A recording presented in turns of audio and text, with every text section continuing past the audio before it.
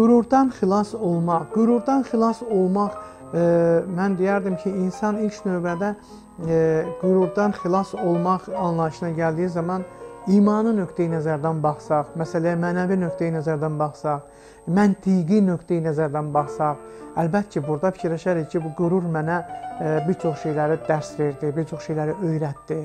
Yəni bundan necə qurtulmaq olar?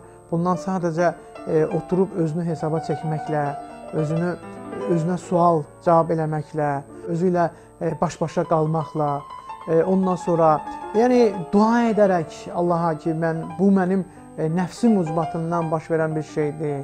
Yəni mənim nəfsi keyfiyyətlərim ucbatından qürurumu sındıra bilmirəm, qürurumun öhdəsindən gələ bilmirəm. Amma insanlar bəzən bunu səhv başa düşə bilirlər. Bəzən başa düşə bilərlər ki, necə yəni mənim mən deməli qürursuzammı? Yəni mən qürursuzammı? Yəni mənim qürurum yoxdurmu? Yox, hər bir insanda qürur var. Qürur insanda e, insanın o bir iftixar tablosu kimi ola bilər.